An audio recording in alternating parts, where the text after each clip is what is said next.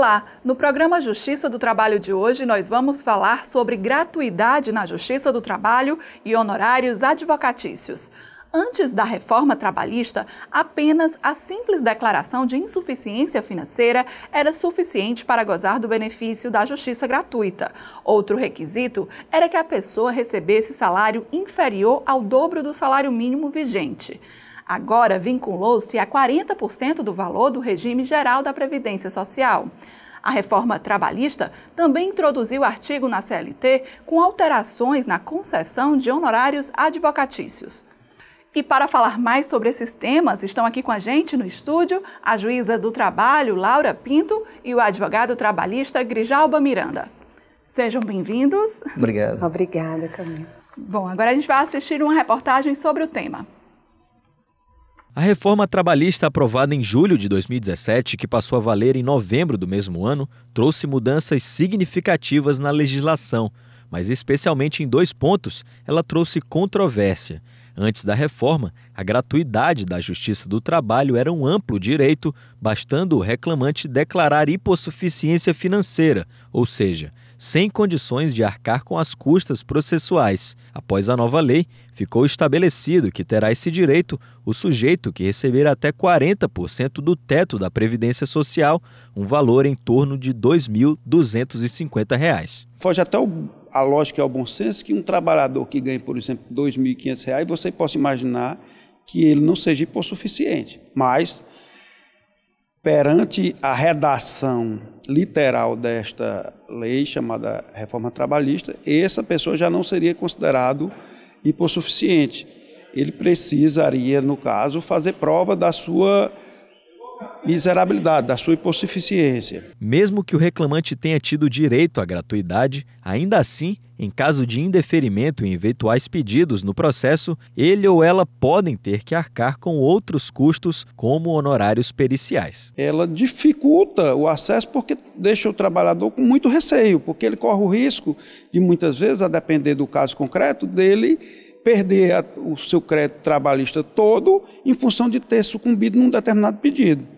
Quando se calcula muitas vezes a verba honorária e, por exemplo, os honorários periciais, pode ser que o crédito do trabalhador seja inferior a este, a, a, aos valores dos honorários periciais e os honorários advocatícios, o que nos parece um extremo contrassenso, na medida em que o, o direito do trabalho e o direito processual do trabalho sempre foi um ramo onde o trabalhador pela sua condição de hipossuficiente, ter sempre um amplo acesso. E isso ocorre em outros ramos do Poder Judiciário, em outras facetas do direito. Por exemplo, no Código de Defesa do Consumidor, também o, o o autor, via de regra, é o hipossuficiente da relação. Por ser tão recente, o tema tem causado insegurança tanto nos trabalhadores quanto na magistratura e é assunto que tem sido discutido em Brasília pelo Supremo Tribunal Federal. Há ainda muita discussão, inclusive há ações diretas de inconstitucionalidade é, tratando de vários temas desta reforma. Uma delas, especificamente, a ADI 5766, que está na relatoria sob a relatoria do ministro Luiz Roberto Barroso. Já teve o início desse julgamento. No julgamento, o voto do relator foi no sentido de que aquelas verbas de natureza é, indenizatórias, como por exemplo danos morais, se houver sucumbência, o, trabalhador vai pagar honorários sobre o valor total. Já naquelas verbas, em relação àquelas verbas que sejam de natureza remuneratória, remuneratória, exemplo de 10 terceiro, férias, FGTS, enfim. Essas verbas aí, na compreensão do ministro, elas deveriam, os honorários deveriam incidir apenas sobre até 30% do valor que exceder ao teto do regime da Previdência Social. Por outro lado, há um outro voto totalmente divergente do ministro Luiz Edson Fachin, no sentido de entender é, inteiramente inconstitucional os dispositivos da, da reforma trabalhista inerentes à, à justiça gratuita e os honorários advocatícios. Outra mudança feita pela reforma foi a ampliação dos honorários de sucumbência, que foram estendidos à área trabalhista. Se antes a União arcava com esse custo, hoje a parte perdedora deve a parte vencedora, ou, se for o caso, uma divisão proporcional em caso de sucumbência recíproca. O que nós temos hoje com a reforma trabalhista é uma, a necessidade de um maior cuidado ao se fazer uma, ao se ingressar com a ação, tá? Ao se fazer elaborar uma petição inicial para poder efetivamente não incorrer em nenhuma penalidade, porque o que de fato for é, direito do reclamante corre é, tem-se um, uma possibilidade maior de ser deferido e assim não importar na, no custo para o reclamante. Segundo a coordenadora da Comissão de Direito do Trabalho da OAB Ceará, a reforma inibiu aventuras judiciais, mas por outro lado, a restrição da justiça gratuita também afasta casos legítimos relatados pelos reclamantes. Para o advogado que trabalha com reclamantes, isso pode ter inibido um pouco tá? A questão pode ter desestimulado. Mas, por outro lado, isso traz uma maior seriedade, traz de fato, é, infelizmente, nós lidamos, né? A justiça lida com profissionais que muitas vezes podem ser que não levem a sério, né, no, no, exercício da sua profissão, a questão de postular só aquilo que é devido, só o que está devidamente comprovado. Então, essa medida da reforma trabalhista, ela acaba por evitar atitudes assim. Ao mesmo tempo, né, há um movimento realmente que é contrário, porque isso inibe o trabalhador, ele fica com receio de pleitear alguma coisa na justiça por ter esse possível custo caso perca. Doutora Laura, como é que funcionava de fato, antes da reforma, essa gratuidade da Justiça do Trabalho? Antes da reforma, a gratuidade da Justiça ela tinha um requisito muito simples. Ou o trabalhador recebia dois salários mínimos, ou então ele poderia, de próprio punho, independente da quantia salarial que ele recebia, ele declarava que não tinha condições de arcar com as despesas processuais. Era assim, não tinha um parâmetro maior. Com a reforma, ela veio dar uma maior é, exposição de como seria isso. E aí ela criou dois requisitos básicos para a justiça gratuita. Um primeiro, que é um requisito que a gente pode chamar de objetivo, porque ele tem um valor econômico envolvido. Ou seja, aquele trabalhador que recebe menos de R$ 2.500, mais ou menos, ele não precisa fazer nada, que ele já tem o benefício da justiça gratuita. Melhorou, porque antes eram dois salários e agora a gente tem um patamar um pouquinho maior. E depois ela falou: e aquele trabalhador que recebe mais do que isso? Ele vai ficar fora benef do benefício da justiça gratuita? Não. O legislador teve essa sensibilidade e viu que há pessoas que, por mais que recebam mais de 2.500 e poucos reais, ele pode também fazer jus ao benefício da justiça gratuita. Como? Comprovando que ele tem insuficiência de recursos. E hoje a gente utiliza o quê? A gente tem utilizado o Tribunal Regional do Trabalho da Sétima Região, adotou o posicionamento a gente se resguardar do CPC. Então, o que, que o CPC diz? Se for uma pessoa natural, o que, que é pessoa natural? Eu, você, doutor Grigel, é uma pessoa física. Ela pode simplesmente fazer uma declaração de que assim está, que isso já vai dar ênfase como sendo uma comprovação do benefício da justiça gratuita, diferente da empresa se ela vier pedir. Tá certo?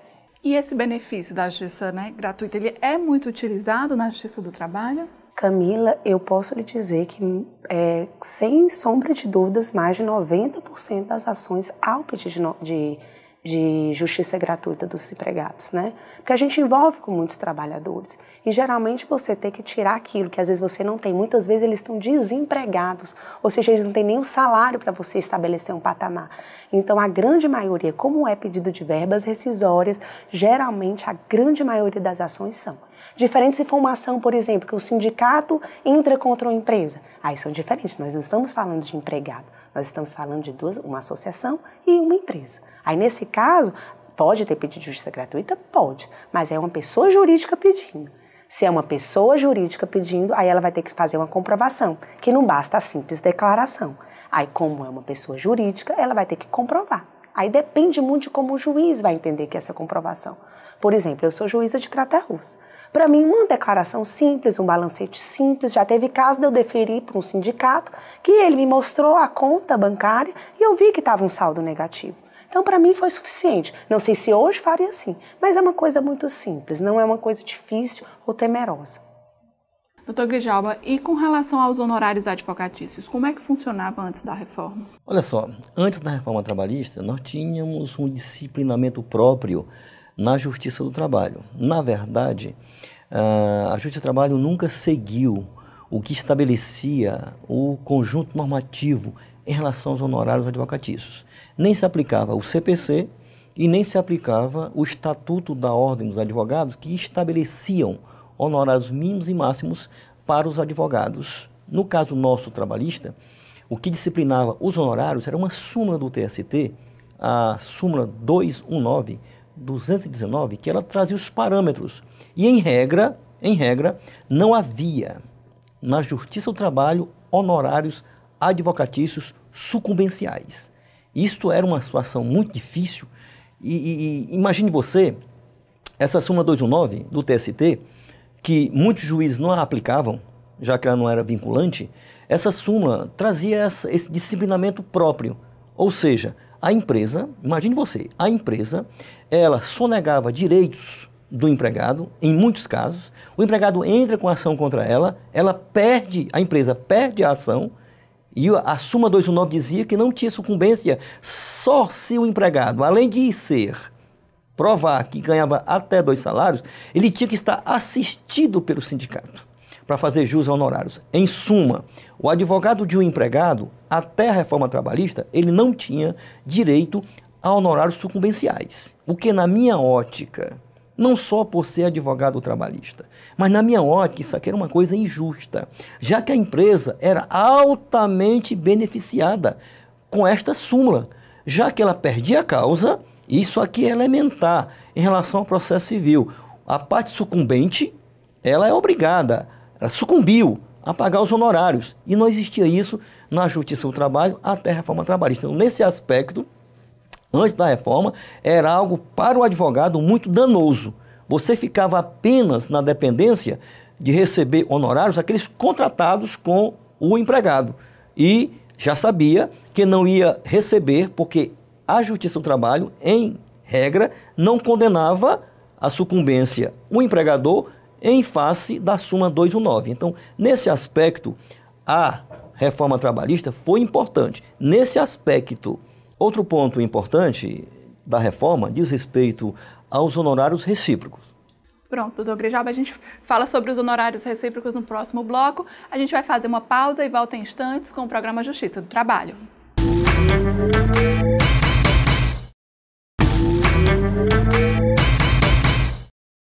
Voltamos com o programa Justiça do Trabalho, hoje falando sobre gratuidade na Justiça do Trabalho e honorários advocatícios. Doutor Grijalba, então a gente encerrou o bloco anterior falando sobre os honorários recíprocos, né? Explica pra gente o que, que mudou. Veja bem, é, em relação a esse fato, na minha ótica, isso aqui, para os advogados, as mudanças nos honorários foi uma coisa maravilhosa. Porém, nós temos que ver o lado do empregado. Especificamente falando sobre o empregado, o que isso trouxe para ele de prejuízo. Na minha ótica, isso foi uma coisa muito ruim para o empregado e acho eu que é exatamente esse ponto que tem inibido muitos empregados em buscar a justiça do trabalho. E explico por quê. Só para você ter uma ideia, antes da reforma, a Suma 219 dizia que a empresa não era condenada em sucumbência. E de repente agora vem a normatização, aplicando a sucumbência na justiça do trabalho e alcançando o empregado. E como o empregado, quando busca a justiça do trabalho, ele tem vários pedidos para fazer e nem sempre depende dele, depende da prova que ele vai produzir. E se porventura, numa causa trabalhista, o empregado, a sua prova não se conduzir bem, no caso a testemunha, ele está sujeito a não ter a sua reclamação vencida no todo. Ele vence parcialmente. Então, para você ter uma ideia, se o empregado pede seis verbas trabalhistas, Dessas seis verbas, ele vem a vencer três. Ele corre o risco de ganhar a ação parcialmente e, no fim, ele perder e não ganhar nada, porque o que ele vai ganhar, em muitos casos, talvez seja suficiente, se for, para pagar apenas os honorários sucumbenciais do advogado dele e do advogado da empresa. Isso, para mim, é algo muito nocivo para o empregado e vai inibi-lo de buscar a justiça do trabalho com medo de, não tendo a sorte e a boa vontade da testemunha em provar aquele fato de ser um depoimento seguro, pode não acontecer, ele vi, ao invés de ganhar, perder. Então, esse ponto para mim, para o empregado, para o advogado foi ótimo. Porque em qualquer circunstância o advogado vai ganhar honorários. Agora, eu tenho que ver o lado do empregado que a pessoa e a justiça do trabalho foi sempre marcada por esse ponto da hipossuficiência do empregado. E de repente vê a legislação e equipara o empregado como se fosse nas mesmas condições do empregador. Isso, na minha ótica, é uma coisa injusta para o empregado. Razão pela qual, apesar de ser bom para o advogado, mas em relação ao empregado, eu achei algo muito nocivo e com certeza está o afastando de buscar, em muitos casos, os seus direitos que foram sonegados pelo empregador. Doutora Laura, isso acontece muito na Justiça do Trabalho? Sim. Assim, num primeiro momento, a gente viu que as demandas elas diminuíram justamente a maior pressão que as pessoas, os trabalhadores tinham era justamente esse medo, né? Poxa, eu estou pedindo, eu não sei se eu tenho direito. Quem vai me dizer é o judiciário, é o juiz que vai me dizer se eu tenho direito. E aí vamos supor que eu peço, como na Justiça do Trabalho, a gente vem em média pedir verbas como férias, terceiro, é, é, aviso prévio, FGTS, mas aí ele pede também um adicional de insalubridade, que precisa de uma perícia, né? E aí vamos supor que esse perito diz, olha, você não tem. Aí vamos supor, ele ganhou as verbas rescisórias, mas ele vai ter que pagar porque ele perdeu a perícia, né? Porque foi improcedente, ou seja, ele, o juiz não deu ganho de causa na perícia. Tinha esse medo né? Mas o que eu acredito é que a gente está aqui, como, aí eu estou falando como Poder Judiciário, né? o TRT da sétima região. A gente está aqui com a finalidade principal de trazer segurança jurídica para vocês trabalhadores, para vocês que buscam o judiciário.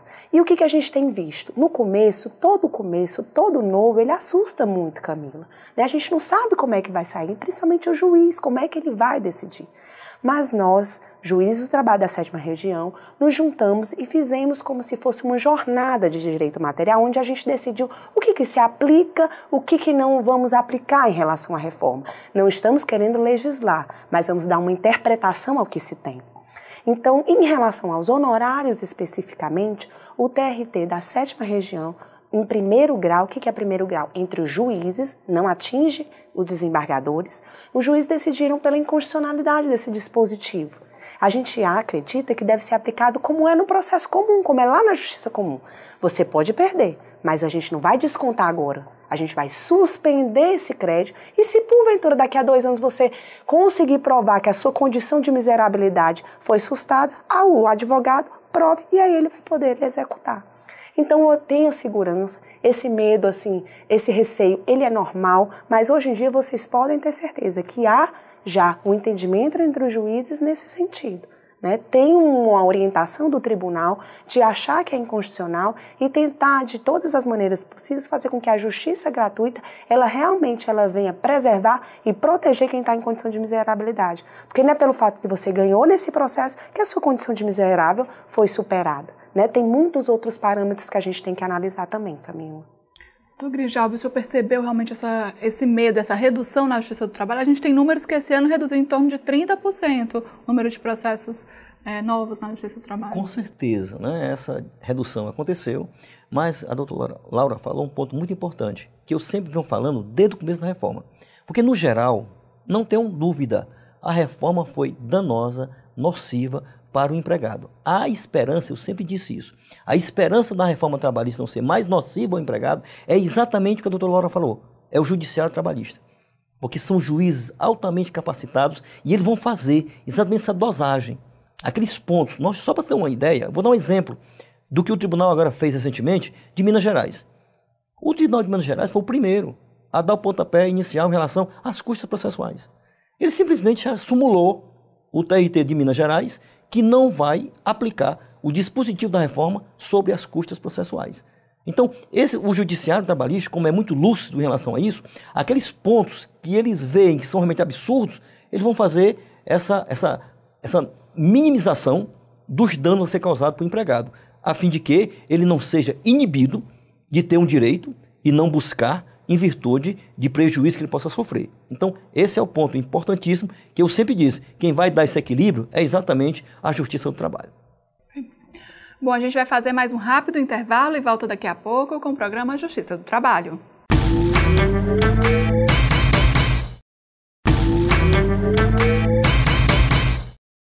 Estamos de volta com o programa Justiça do Trabalho, hoje falando sobre gratuidade na Justiça do Trabalho e os honorários advocatícios. Doutor Grijalba, como é que ficam então os processos anteriores à reforma? Eles são impactados por essas mudanças? Muito bem, a sua pergunta é muito importante e o Tribunal Superior do Trabalho, é? no começo, quando a reforma entra em vigor em novembro, é, esse problema foi muito polêmico, tudo se questionava. E aí, vai retroagir para os processos em andamento? Então o TST, é? na resolução 41, agora desse ano, eles normatizaram a aplicabilidade das normas constantes da reforma trabalhista. E, na quase totalidade dos pontos, são muito claros na resolução que os pontos da reforma trabalhista são aplicáveis apenas nos processos que foram protocolados do dia 11 de novembro para cá. O que passou, nem custas processuais, nem honorários sucumbenciais, nem recíprocos, alcançam os processos anteriores à reforma trabalhista. Com isso aqui, veio evidentemente trazer uma segurança que no começo estava a coisa um tanto quanto polêmica ainda. Muita gente querendo que se aplicasse aos processos que já estavam em andamento. Seria uma coisa totalmente lógica. Eu entrei com o processo, por exemplo, em junho de 2017, sob uma ótica. Eu não posso agora ser punido por uma norma que entrou em vigor em novembro. Então o TST, muito equilibradamente, baixou essa resolução 41, trazendo essa normatização e a ideia que está posta lá é exatamente isso. Alcança exatamente os pontos que foram, aliás, só alcançam os processos protocolados a partir da entrada em vigor da reforma trabalhista. O que era antes não serão alcançados, especialmente em relação a custas e a honorários advocatícios. Doutora Laura, como é que ficam com relação às perícias, né? Quem paga? Antes da reforma, o que, que a gente tinha? É, os honorários periciais eles eram pagos por quem perdia. Ou seja, se você pedisse um adicional de salubridade e você ganhasse na perícia, né, a perícia fosse favorável, a empresa que ia pagar. Agora, se no laudo pericial dissesse, olha, não há insalubridade, o empregado que pagar, ou seja, quem perdeu no objeto da perícia é quem pagava. Continua assim? Continuou. Só que, antes da reforma, se o empregado ele fosse beneficiado da justiça gratuita, ou seja, fosse considerado pobre, se ele perdesse, quem pagava era a União. Tinha recursos destinados para isso. Né? E agora, o que, que aconteceu? A reforma veio dizer que se você, mesmo sendo considerado pobre, ou seja, beneficiário da justiça gratuita, você poderá ter que arcar com a sua perícia se você tiver crédito nesse processo. Aí vamos chegar à situação. Você pediu verbas rescisórias, férias, décimo terceiro, saldo de salário, aviso prévio, vamos supor que deu dois mil reais. E a perícia, o perito disse que o laudo pericial vai custar dois mil reais. Você ganhou dois e a sua perícia que você perdeu também foi dois. Já pensou se você tivesse que pagar nesse processo? Você ganharia e não levaria, como o doutor já tinha falado. Seria um, um, um saldo empate. Né? Então é isso que a reforma veio propor. Né? Mas nós já temos o quê? O STF já sensível a isso. Tem uma ADIM, o que, que é isso? ADIM, vamos explicar. É um controle que se faz lá em cima no Tribunal Superior se essa norma vai valer ou não. Então está assim, nós estamos em discussão para ver se ganha ou não. O Tribunal TRT daqui já tem um posicionamento também de que a gente acredita que seja inconstitucional. Isto é, se você hoje, trabalhador, entrar pedindo uma perícia, seja médica, seja insalubre, a tendência do TRT da sétima região é a entender pela inconstitucionalidade do dispositivo, até que o STF venha se pronunciar. Tá certo? Mais uma vez, né, a gente entra naquele ponto que falamos anteriormente. Sempre vai os TRTs, a própria Justiça do Trabalho vai tentar equilibrar isso. Porque, como a doutora Laura falou, é uma coisa. Era, o exemplo que ela deu é perfeito. Quer dizer, é, isso vai voltar ao que era antes, quando não tinha essa verba para a União pagar, quando o empregado era beneficiado da justiça gratuita, ele não pagava perícia. Desculpem, antes do, da verba, ele tinha que pagar perícia, e eu me recordo, eu advogo há muito tempo, apesar de não ser tão velho, né? Mas naquela época nós tínhamos muitas vezes empregados que entravam na justiça quando não tinha verba para a União pagar, muitas vezes ele era obrigado, porque não podia pagar, a desistir do direito à insalubridade ou à periculosidade. E agora, é, é, essa normatização da reforma que vem mesmo na gratuidade, ter que pagar é uma coisa totalmente ilógica, né? que o problema todo é que a gente não sabe como é vai ser a posição do Supremo. Mas eu fico muito feliz em ouvir da doutora Laura o posicionamento do nosso TRT, que é no sentido de não aplicar isso, porque realmente é uma coisa absurda. O empregado ter que pagar uma coisa e não tem condição. O empregado já está desempregado, passando necessidade. E, e, deixar de pleitear um direito preocupado se perder, ele não tem a garantia que vai ganhar, depende de um perito, da perícia, e agora ter que arcar com esses custos, mesmo sendo beneficiária gratuita, é no mínimo uma coisa ilógica. Então é assim que a gente imagina. Mas o TRT, a Justiça do Trabalho no todo, vai saber como é, é, balizar esses pontos absurdos da reforma trabalhista. Camila, só para é, complementar, já que o doutor Crijaba falou, queria deixar um recado para vocês, ouvintes e telespectadores, que o tribunal tem uma jornada de direito material e processual do trabalho. E lá tem todos esses enunciados dizendo as regras prioritariamente sobre direito processual. Então, qualquer dúvida que vocês tenham, vocês podem ir lá e verificar como é o posicionamento do tribunal em relação a essas questões que são tão polêmicas e que está tendo tantos desafios e tantas dúvidas para vocês. Tá certo? Doutora Aula, então é possível ter acesso a esses Sim, sim. Pelo próprio site do TRT, vocês entram na Escola Judicial e vocês procuram jornadas. Nessas jornadas tem vários enunciados, começa do 80, vai até o 120, onde tem toda a disciplina relacionada a direito material e processo do trabalho relativos à reforma trabalhista. Até porque isso é interessante que a doutora Laura falou, porque até os advogados também, no, no, início, quando a gente começou a falar sobre reforma trabalhista, eles também estavam um pouco receiosos de entrar com o processo por não saber ainda o entendimento do TRT. E aí já mostra que o TRT está se movimentando a favor sim. disso. Com certeza. É, essas orientações são de extrema importância, não só para os advogados, mas as próprias partes têm livre acesso e é importante que elas saibam, até para terem uma maior segurança na hora de propor a sua ação. Então, essas informações são extremamente importantes, tanto para as partes como para os advogados que atuam e militam na Justiça do Trabalho. Ok, obrigada pela obrigada. participação dos senhores. Obrigada. Bom, o programa Justiça do Trabalho fica por aqui. Mais informações sobre o TRT Ceará no site www.trt7.jus.br. E no site você também pode acompanhar esse e outros programas. Para participar com dicas e sugestões, é só enviar para o e-mail justiçadotrabalho@trt7.jus.br ou ligar para 85 3388 9426. Até mais.